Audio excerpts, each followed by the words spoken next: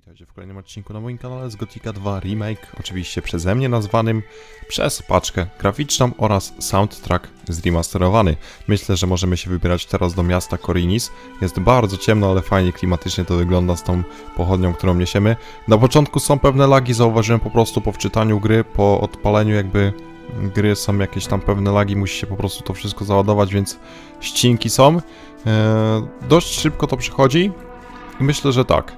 Zajmiemy się w tym odcinku zostaniem czeladnikiem y, u kogoś y, w mieście. W taki sposób to zaczniemy ten odcinek i na to przeznaczymy głównie czas. Myślę, że możemy sobie też jeszcze porozmawiać jakby z Lotarem na temat y, tych innych spraw, które chcemy, chce nam jakby przekazać, ale to za chwilkę. A więc tak, jest ciemno w sumie, 20.58 jest, nie wiem czy oni będą spać, czy nie będą spać, ale będziemy mogli zostać czeladnikiem u różnych gości oczywiście. I myślę, że... Myślę, że... Zaczniemy sobie... To znaczy może inaczej. Często ostatnio zaczynałem czeladnika u Kowala. Kowalstwo, kowalstwo i naprawdę to powiem wam szczerze, troszkę mi się znudziło. I chcę powrócić do jakby dawnych czasów. Do czasów, kiedy zaczynałem, jeżeli dobrze pamiętam, jak zaczynałem z Gotikiem, to zazwyczaj właśnie zostawałem e, czeladnikiem u Bospera. U myśliwego Bospera. Więc myślę, że fajnie by było właśnie w taki sposób sobie to zrobić, czyli zostać czeladnikiem u Bospera. Więc tak, zacznijmy od początku, czyli u Bospera sobie zaczniemy. Witaj w moim sklepie, nieznajomy. Jestem Bosper. Wyrabiam łuki i handluję futrami. Co cię sprowadza do Korinis? Szukam pracy. Przydałby mi się nowy czeladnik. Poprzedni zrezygnował dwa dni temu. A więc znasz się trochę na polowaniu? Cóż, Mogę cię nauczyć, jak się obdziera ze skóry zwierzęta. Dobrze ci zapłacę za każdą skórę, jaką mi przyniesiesz. chcę zostać twoim czeladnikiem. Zanim cię przyjmę, muszę oczywiście wiedzieć, czy w ogóle się nadajesz. Co mam dla ciebie zrobić? Nauczę cię, jak obdzierać ze skóry zwierzyny, a ty mi przyniesiesz, no powiedzmy, pół tuzina wilczych futer. Wtedy będę wiedział, że opanowałeś swój fach. Jeśli nie zajmie ci to całego życia i skóry będą w znośnym stanie, to cię przyjmę. Dobra, więc myślę, że na początku od razu oczywiście uczmy się obdzierania zwierząt ze skóry. Mamy 20 punktów nauki. E, No trzeba na to przekazać, e, przekazać właśnie te 5 punktów, więc od razu to zróbmy. Naucz mnie, jak obdzierać zwierzynę ze skóry. Dobrze. Słuchaj, to dość proste. Ostrym nożem rozcinasz brzuch zwierzęcia. Potem robisz małe nacięcia po wewnętrznej stronie łap i ściągasz skórę. Przynieś mi te wilcze skóry, to zobaczymy. Jasna sprawa, oczywiście. Mm, Możemy się tu też, tutaj też uczyć nowej umiejętności, garbarstwa. Ok, więc ciekawie. 6 wilczych skór musimy dla Bospera przynieść. A więc mamy jakby pierwsze zadanie. Jeżeli chodzi o skóry, no to wybierzemy się z Bartokiem na polowanie. Będzie oczywiście łatwiej i fajniej. E, A teraz może pójdźmy do Mateo Co od mogę razu. dla ciebie zrobić? Co wiesz o paladynach? Od czasu, jak te bydlaki przyszły do miasta, mam same kłopoty. Kiedy ostatnio szedłem do górnego miasta, zatrzymali mnie strażnicy i zapytali, po co tam idę. I Oczywiście, że mnie wpuścili. Miałem w mieście sklep, kiedy większość z tych nadętych dupków ganiała jeszcze świnie. A wczoraj te bydlaki skonfiskowały połowę mojego towaru. możesz mi pomóc dostać się do górnego miasta? Co? Co będziesz tam robił? Mam ważną wiadomość. No, no, no. Próbowałeś przemknąć się koło strażników? Nie rozumiem, dlaczego miałbym w ogóle próbować. Pewnie masz rację. Nie wiem, jak ważna jest twoja wiadomość. Nie obchodzi mnie to. Ale nawet gdybyś powiedział im, że statek pełen orków wpłynął właśnie do portu, i tak by cię odesłali. Bo mają swoje rozkazy. No to jak? Możesz mi pomóc dostać się do górnego miasta? Wygląda na to, że to dla ciebie ważne. Pytanie tylko, jak ważne? Do czego zmierzasz? Mogę ci pomóc. Było nie było, jestem tu jednym z najbardziej wpływowych ludzi. Ale to cię będzie kosztować. Co chcesz w zamian za pomoc? 100 sztuk złota. Ty pijawko. Spokojnie. Nie twoje złoto miałem na myśli. Ale Właściwie chodzi mi o moje złoto. Grita, bratanica stolarza, od dawna jest mi winna pieniądze. Ta mała lisica kręci się po okolicy w nowych ciuszkach, a to znaczy, że ma pieniądze. Wywległbym jej te pieniądze z gardła, ale mistrz Torben, stolarz, to bardzo wpływowy człowiek. Załatw mi te pieniądze, to ci pomogę. Gdzie znajdę tę gritę? Tak jak powiedziałem, to siostrzenica stolarza.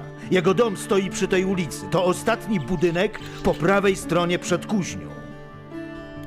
Dobrze, jasna sprawa. Wybieramy się tam od razu. Wyciągnąć od niej te 100 sztuk złota. Tylko, że jest e, noc i w sumie chyba ona będzie spać, ale. Nie, nie śpi. Więc dobra, zaczynajmy od razu. Czego tutaj chcesz? Jeśli przyszedłeś na żebry, to muszę cię rozczarować. Jestem biedną wdową. Nazywam się Grita. Od kiedy umarł mój mąż, prowadzę gospodarstwo mojego wuja Torbena. Przysyła mnie Mateo. Wciąż jesteś mu winna złoto. Chcę dostać pieniądze. Niby za co? Dostarczone ubrania były wadliwe, wykonane z kiepskich materiałów i źle skrojone. A widziałeś te kolory? To nie jest towar, który zamówiłam. To jest zwyczajne wyłudzenie.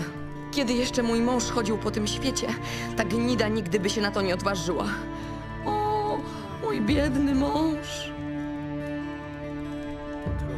Dość tego. Gdzie złoto? Ale ja nie mam żadnych pieniędzy. Jestem tylko biedną wdową. Sprzedamy po prostu kilka twoich ubrań. Jestem pewien, że masz jeszcze jakieś drogie suknie w swojej garderobie. Jak śmiesz, troglodyto! Dobrze, weź to złoto. Widzisz? To nie było takie trudne. A teraz wynoś się z mojego domu. Bezimienny troglodyta. Nie było trudno, było łatwo, bardzo łatwo oczywiście. Wracamy do Mateo, oddajemy mu złoto, później kierunek Torben. Porozmawiamy chyba sobie jeszcze z Kowalem i myślę, że wybierzemy się na polowanie, tylko że Mateo nam tutaj gdzieś... Dobra, spał, ale okej. Hej, ty!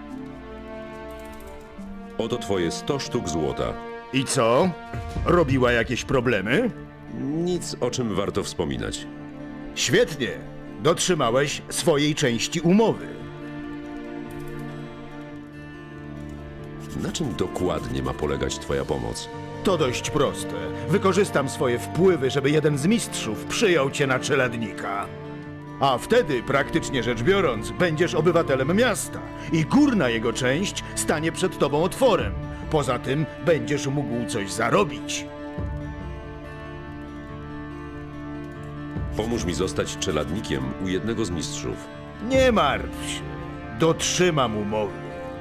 Inni mistrzowie usłyszą o tobie same dobre rzeczy. Dobrze, a więc w takim razie mamy jedno poparcie od Matea, więc myślę, że wybieramy się teraz do mm, kolejnej osoby, czyli do Torbena. Wiem, że mamy tam jeszcze dużo, dużo dialogów do przegadania, ale to sobie oczywiście później zrobimy, chyba że zapomnę, więc porozmawiajmy z Torbenem. A, nowa twarz. Nie jesteś z Korinis, prawda?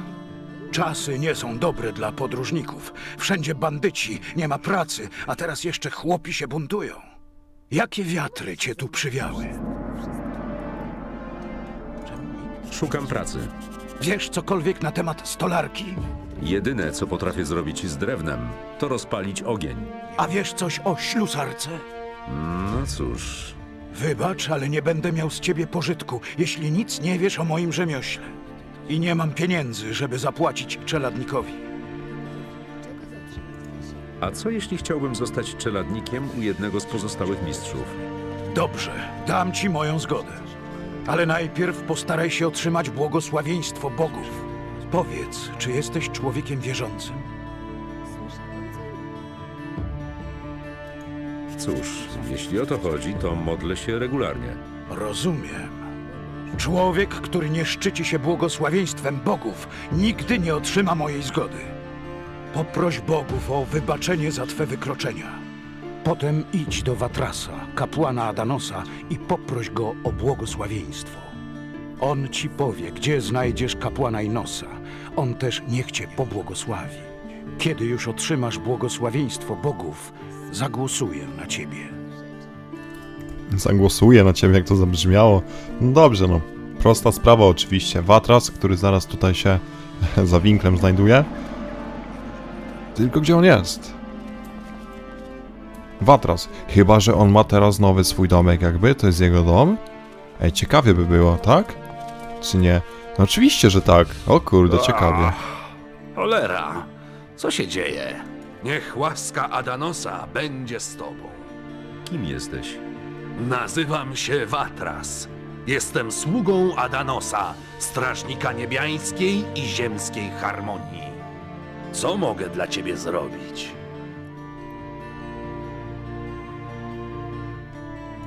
Mam list adresowany do ciebie. Do mnie? Tak, to naprawdę ważna wiadomość. Ciekawi mnie, jak wszedłeś w jej posiadanie.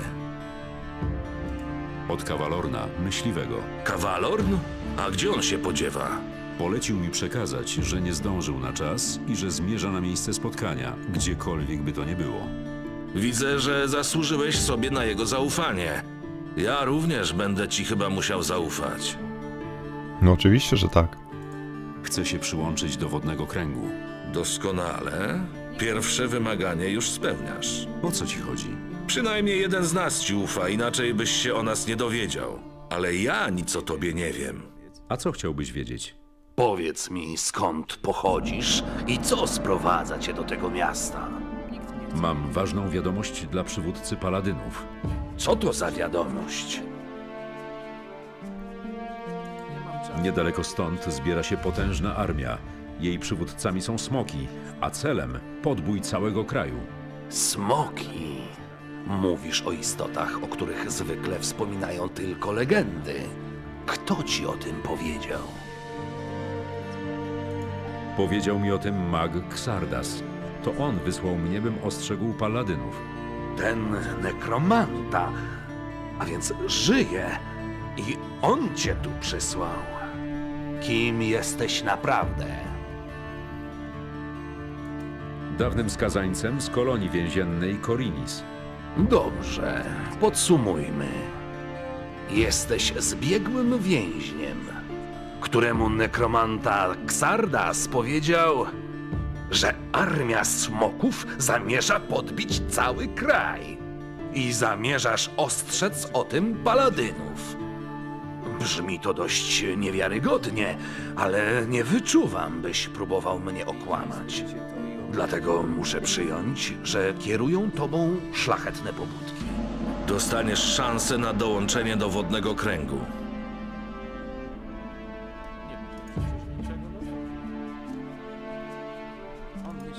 Przybywam, by prosić cię o błogosławieństwo. Dlaczegoż miałbym cię pobłogosławić, nieznajomy?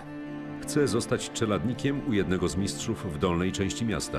Idź więc z błogosławieństwem Adanosa, mój synu. Dobrze, no, a więc Gdzie mogę znaleźć jakiegoś kapłana Inosa? Najlepiej rozejrzyj się po targowisku. Znajdziesz tam wysłannika klasztoru. A więc tak, y, przy okazji. Czekajcie, bo mi pochodnia zgasła. Y, przy okazji. Oddaliśmy mu wiadomość od Kawalorna. Oczywiście był zadowolony. Dowiedzieliśmy się właśnie też o wodnym kręgu od Kawalorna. I Watras. Oczywiście, jeżeli byśmy skłamali, no to by wyczuł wszystko. Więc oczywiście trzeba było powiedzieć tak, jak właśnie mieliśmy to przekazane. Czyli jesteśmy dawnym skazańcem, który przysłał, którego przysłał mag Xardas i że zbliża się potężna właśnie armia e, smoków do kraju. Daron, gdzieś ty jest? Gdzie ty jesteś, Daron? Dobra, tutaj Czego jest. tu szukasz? Czego tu szukasz? Aha, Wynoś się stąd! tylko, że nie No, mogę się. rozmawiać w środku. Dobrze, no więc trzeba będzie się przespać, więc będzie trzeba się przespać. W sumie chyba tutaj były noclegi jakieś. Tak, nawet jest tabliczka. Co mogę dla ciebie zrobić? Szukam pokoju. A więc trafiłeś we właściwe miejsce. Ile kosztuje nocleg? Absolutnie nic. Paladyni opłacają noclegi dla wszystkich przyjezdnych. A więc mogę tutaj nocować za darmo? Tak? Idź na górę. Wciąż jeszcze mamy tu kilka wolnych łóżek. A czy ona może z nami nie chce iść na tą górę? Z tym strojem? Co myślicie? Ładnie zrobili ten strój, co nie? Fajnie odświeżyli, oczywiście.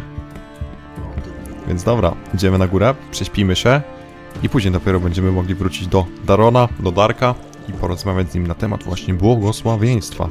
Wolne łóżko, śpi do rana oczywiście. Po porządnym śnie czujemy się wypoczęci.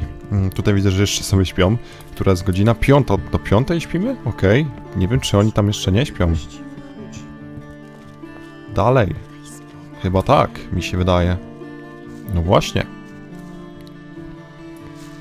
No właśnie, właśnie, więc będziemy musieli się chyba przespać jeszcze z dwie godzinki, myślę, albo ze trzy. Żeby właśnie każdy, każdy już wstał, bo troszkę za wcześnie wstaliśmy po prostu. Teraz Troszkę za wcześnie wstaliśmy. Dobra, weźmy 3 godzinki w razie czego. Co tu się stało na tej podłodze jakoś tak dziwnie? Dobra, nic, nieważne, mniejsza. E, Zapierdzielamy, można powiedzieć, dosłownie do Darona. Wciąż mi jesteś winien przysługę. Pora, żebyś spłacił swój dług. Czego chcesz? Chcę mieć z powrotem moje stoisko na targu.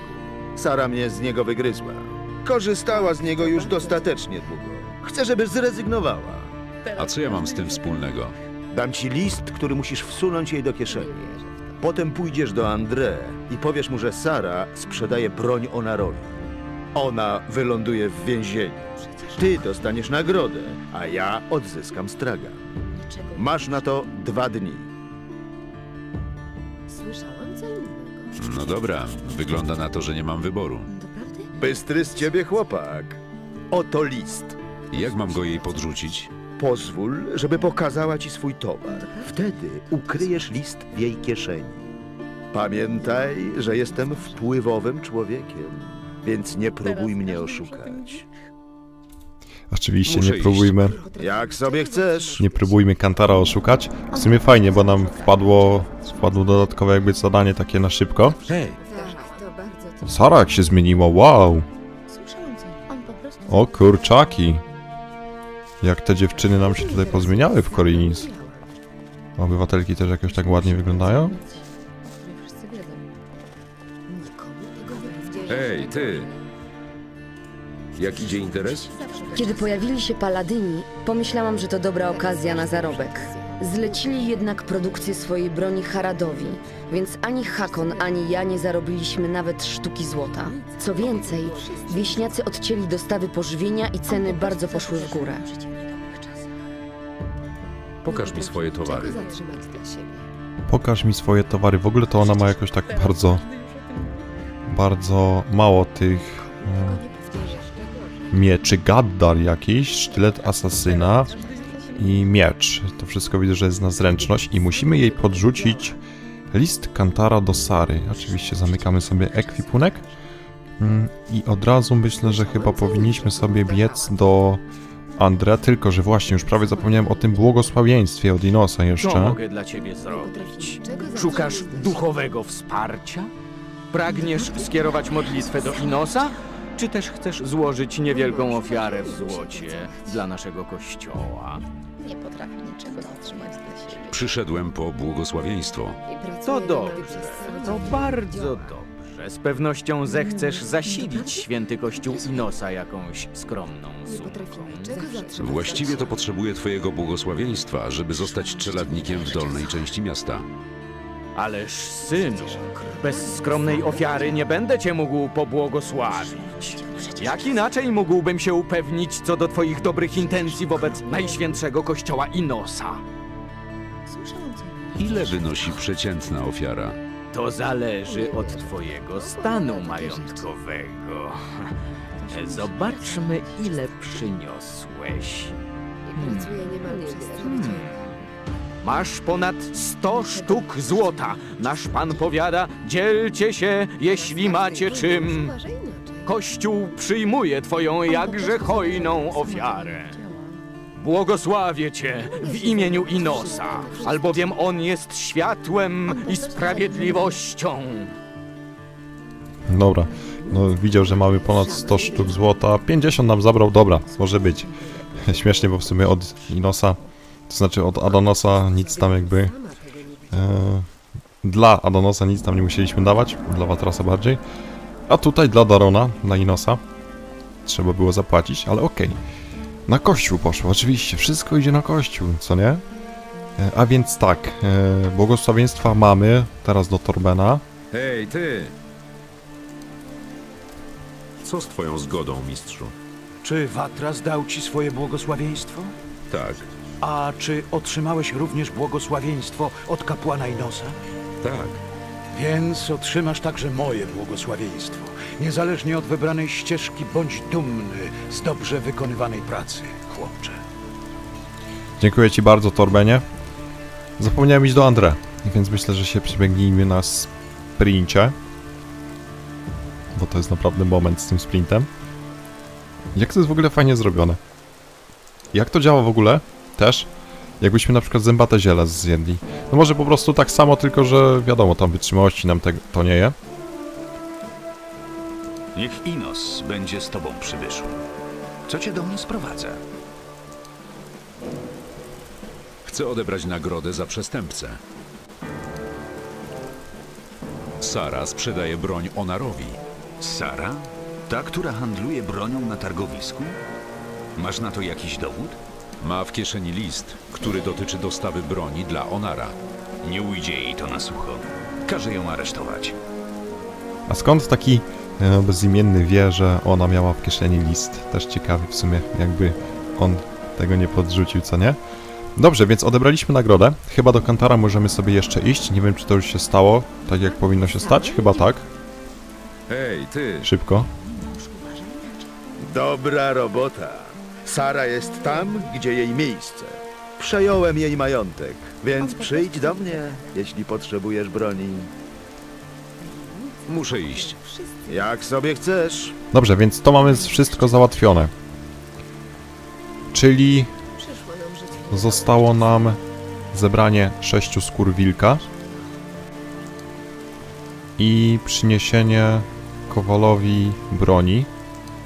Ale teraz najpierw chciałbym zrobić właśnie to, tylko ja nie wiem gdzie ja Bartoka znajdę. On zawsze tutaj przesiadywał. Mm, Żeby się, wiecie, właśnie z nim przejść. Chyba, że tu w karczmie jest. Paragon. Nie wiem, nie mam pojęcia. Bo chyba tylko to nam, to nam jakby zostało. Gdzie my możemy znaleźć Bartoka? Chyba, że jest gdzieś na targowisku. Nie wierzę. Nie widzę nigdzie Bartoka. Ciekawe w sumie. Nie wiem, nie mam pojęcia szczerze mówiąc, gdzie on by mógł się znajdować, poza właśnie... Tu jest w ogóle... Wow, nieźle. Kuźnia. Nie wiem, gdzie on by mógł się znajdować właśnie poza miejscem, w którym zawsze był, czyli tam u... U ty, tego właśnie... Karczmarza? U Wirta. A nie, nie chciałem usiąść. Czemu tak się stało? Więc... Ale czekajcie, tu jest w ogóle jakieś też pomieszczenie, to jakiś budynek to znaczy? Może w jakimś budynku po prostu nowym? Nowo powstałym może siedzi? W sumie jakoś tak nie widać. No nie, no nie ma nic takiego. Ciężko powiedzieć, naprawdę ciężko bardzo powiedzieć, bo on jest mi potrzebny i to bardzo potrzebny, bo z tym polowaniem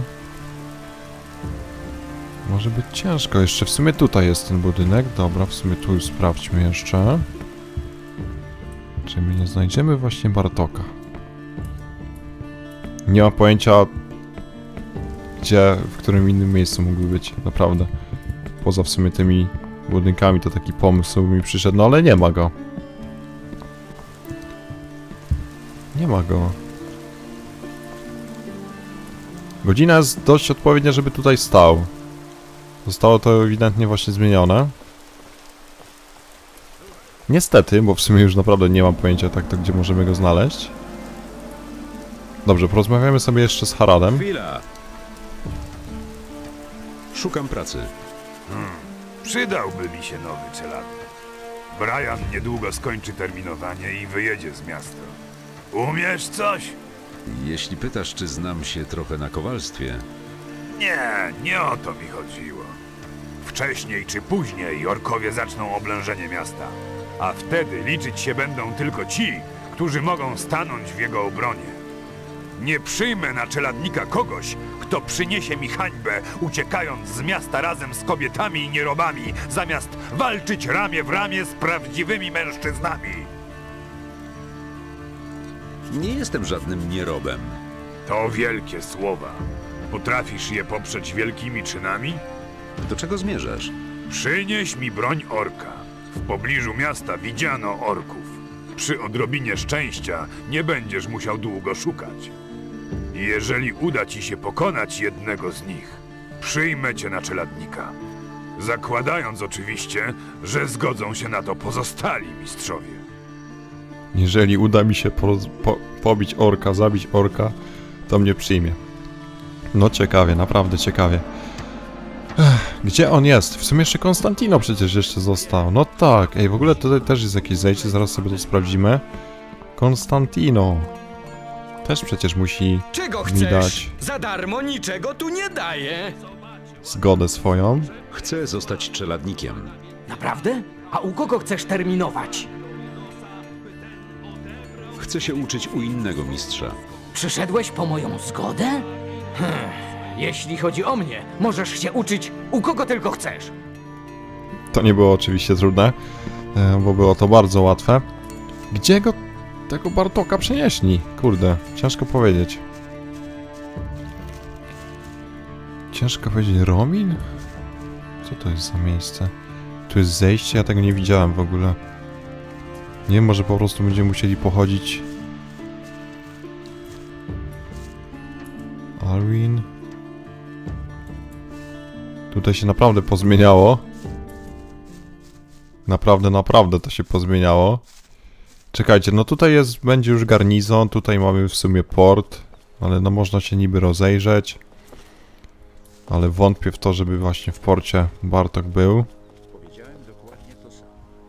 Tu jest ta... ten magazyn niby, tutaj też jest chyba ten magazyn. Brahim tutaj jest. Nie no, naprawdę nie mam pojęcia, gdzie oni mi tego Bartoka wynieśli. Wątpię, żeby to był port. Naprawdę bardzo wątpię. Tutaj nawet rycerze chodzą? Ciekawie. Tutaj też go jakoś nigdzie nie widać w sumie.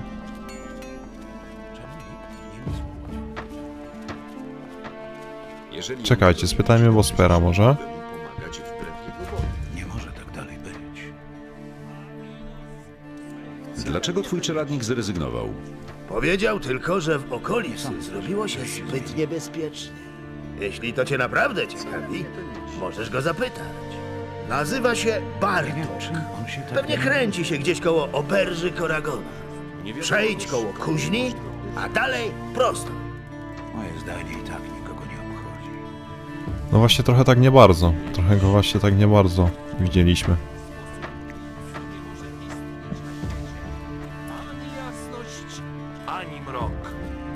Tutaj na pewno też nie stoi. W środku no go nie ma. Tu jest przecież ten koragon. No tutaj też go nie ma. Tutaj jakoś? Przez to przejście. Co tu w ogóle jest? Jakiś magazyn? Chyba tak. Jak to jest bardzo ładnie naprawdę rozbudowane. Jest Bartok. Gdzie on był? Może spał w sumie. Ale ma ładną zbroję. Ładny strój. Albo na jakimś polowaniu może był? Co słychać? Nie jesteś stąd, co? Nieważne, ja też nie. Gdzie się wcześniej kręciłeś? W lasach polowałem na wilki i ścierwojady razem z innymi myśliwymi. Ale rzuciłem to. Czasy zrobiły się niebezpieczne. Kręci się tam sporo podejrzanych typów.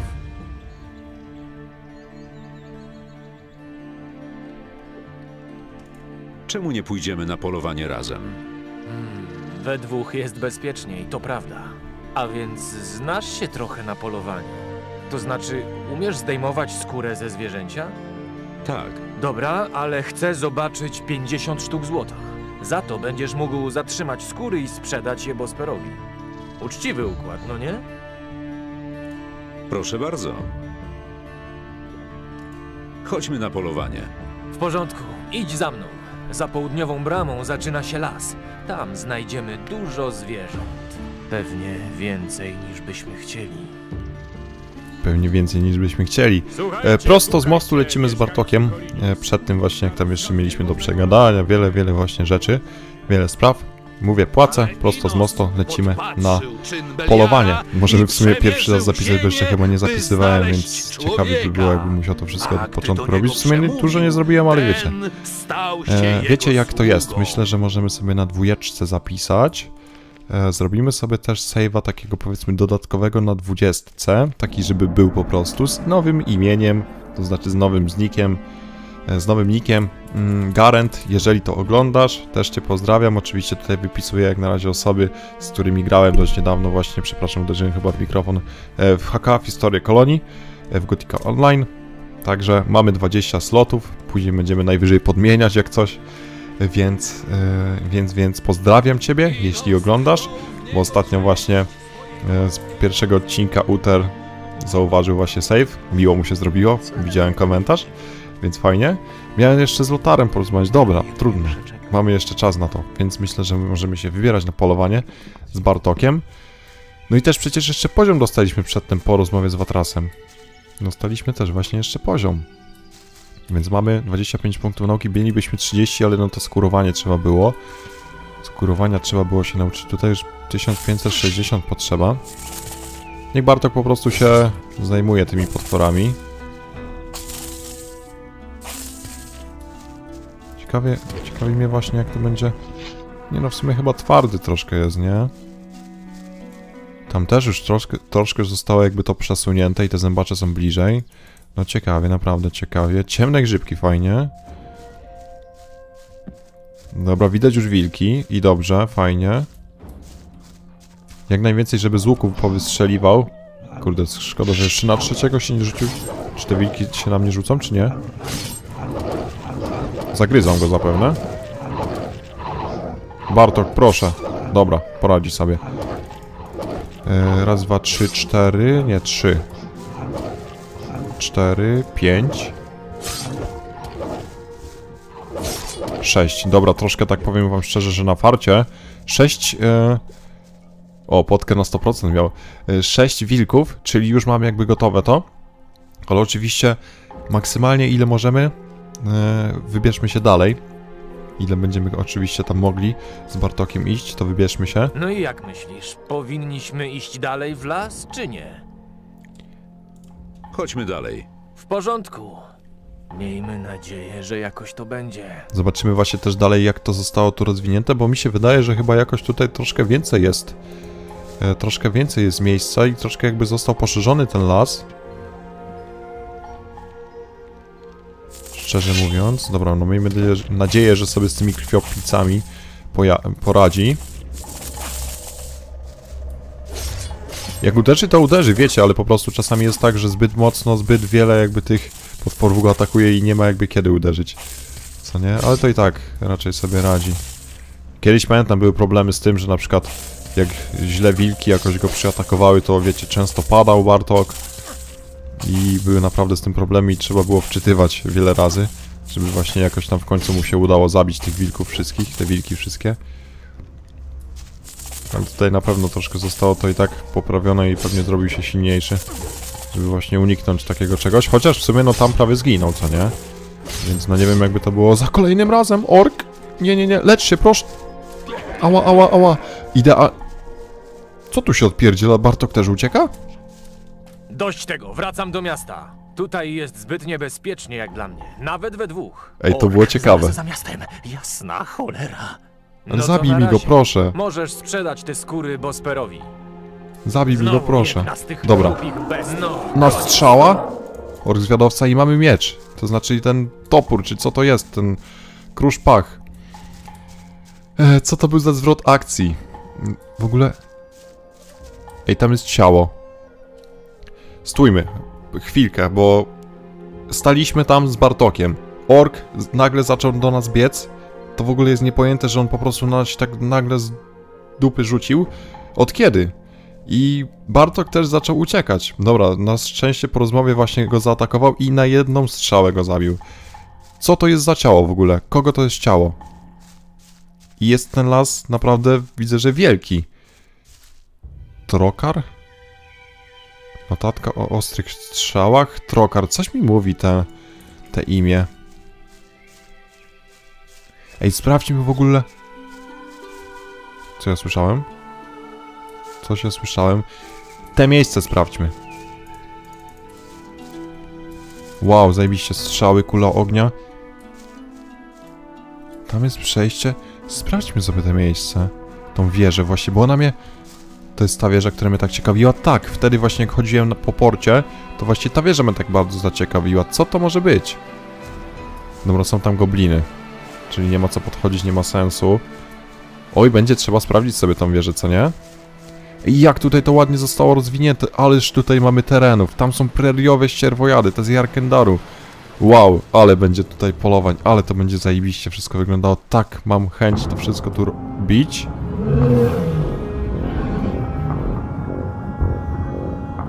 Chyba coś się zepsuło, tak? Zajebiście. No to zajebiście. Kiedy ja to zapisywałem? Czekajcie. Ej, co to ma być? Chyba nie przewidzieli tego, że... Dobra, czekajcie, wilki... No jak myślisz, powinniśmy iść dalej w las, czy nie? Coś się zepsuło? Chodźmy dalej. W porządku. Miejmy nadzieję, że jakoś to będzie. E, Dobrze, tutaj te krwiopice nam zostały, czyli dobrze, dużo nie straciliśmy. E, Ewidentnie coś się zepsuło, może po prostu źle gdzieś e, stąpnąłem i właśnie ten filmik się włączy, bo wiecie, jest to tak właśnie chyba, że ten kraken się pojawia, jak się tam na przykład pływa w morzu, co, czy coś takiego. I nagle się ten kraken pojawia. To był wielki fail. E, Naprawdę wielki fail, nawet ja to mówię, że to był wielki fail i mam, mam nadzieję, że to jednorazowo tylko tak się pojawi, a nie, że po tamtych terenach nie będziemy jakby mogli chodzić źle. Ale w sumie chociaż byliśmy tam dalej przecież i nic się nie stało, a nagle w takim w pewnym momencie widzieliście. Dobra, trzeba to zrobić, no bo ten ork tutaj zaraz powinien wyskoczyć i wiecie. Dobra, możemy tutaj zapisać od razu. I wiecie, no potrzebuję tego miecza, tego topora orkowego. Jakiejś broni, jakiejkolwiek. O, teraz go atakuje. Dobra, teraz będziemy mieli expa, w sumie dobrze, chociaż... Jeżeli go zabije. Dobra, kryt mu siadł. 150 expa. I tym razem nie uciekał. To było dziwne, chyba że po prostu miał zbyt mało HP. Wtedy? Nie wiem, nie mam pojęcia. Dość tego, wracam do miasta. Tutaj jest zbyt niebezpiecznie jak dla mnie, nawet we dwóch. Ork, zaraz za miastem. Jasna cholera. No to na razie. Możesz sprzedać te skóry Bosperowi. Naprawdę ciekawie, naprawdę bardzo ciekawie. Dobra. Mamy wszystko to, co chcieliśmy. No tamte tereny zostały jakby rozbudowane, te lasy są większe. Ciekawie, ale był wiel- wielki fail z tym Krakenem, czy, czy jak to się tam nazywało, że po prostu w pewnym momencie, no i wywaliło mi grę, ale no widzieliście, na szczęście miałem jakiegoś takiego normalnego save'a, więc no dziwnie to wyglądało. I dobre, dobra, dobre. Myślę, że możemy sobie to kończyć. Y, Albo nie, dobra, jak już zaczęliśmy, to skończmy, czyli zostajemy już tym czeladnikiem, czyli skóry dla Bospera. Zawsze to powtarzałam. Co do tych wilczych futer, mam je. Proszę. Wspaniale! Wiedziałem, że nadajesz się do tej pracy. A oto zapłata, tak jak obiecywałem. I co? Co myślisz? Czy to nie lepsza praca niż kucie mieczy po całych dniach? Albo napełnianie małych buteleczek w zakurzonej komnacie? Dobra, fajnie, bo dostaliśmy właśnie, dostaliśmy właśnie po 20 od sztuki. W ogóle fajnie, bo tutaj rycerz właśnie chodzi też po Korinis. Ciekawie. Haradowi oddajmy miecz, ten topór orkowy. Czego chcesz? Mam orkową broń, o którą prosiłeś. Pokaż. Dawno już nie miałem w rękach takiej broni. Podczas wojny z orkami byłem żołnierzem. To były ciężkie czasy, mówię ci. Myślałem, że nie zdołasz tego dokonać. Jestem pod wrażeniem. Mogę zostać czeladnikiem u innego mistrza? Jesteś dobrym człowiekiem. Masz moją zgodę. Brian jeszcze przez jakiś czas tu będzie, a potem jego miejsce zajmie jakiś silny chłopak. Dobrze, więc myślę, że chyba mamy wszystkich już przekonanych i będziemy mogli zostać już czeladnikiem. Jesteśmy w ogóle bardzo blisko kolejnego poziomu. I to będzie czwarty poziom, tak, to będzie czwarty poziom. Bosper, chcę zostać u ciebie czeladnikiem. Chcę zostać twoim czeladnikiem. Hej, wspaniale! Wygląda na to, że już znasz podstawy. Harad uważa, że jesteś dobrym człowiekiem. Torben dał ci swoje błogosławieństwo. Nie jestem zbyt pobożny, ale mnie to nie przeszkadza. On po prostu... Konstantino powiedział, że jeśli o niego chodzi, to możesz się zapisać gdzie chcesz. A Mateo mówi, że jesteś wart swojej wagi w złocie. A to oznacza, że masz poparcie wszystkich mistrzów. Możesz dla mnie pracować, kiedy tylko chcesz. Wchodzę w to. Nie pożałujesz.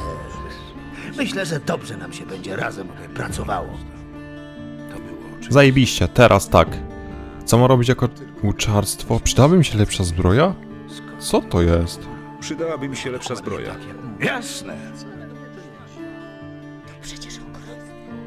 Lekki pancerz myśliwego możemy od niego kupić. Ciekawie, szkoda, że nie, dos- nie dostaliśmy w sumie żadnego pancerza jakby jako czeladnik. Wiecie, za 300 sztuk złota w sumie mamy 360. Jakbyśmy coś tam jeszcze może posprzedawali, może byłby sens, albo jakieś skóry mu jeszcze przynieśli. Dobra, mamy jeszcze wiele do pogadania z tymi ró- różnymi ludźmi, więc jak na razie myślę, że możemy sobie to skończyć i Lotar stąd uciekł. Dobra, widocznie zbyt długo czekał i już odpuścił. Już mu się nie chciało czekać i pewnie poszedł do górnego miasta, więc jak na razie kończymy. Dzięki za obejrzenie, trzymajcie się do kolejnego odcinka. Cześć.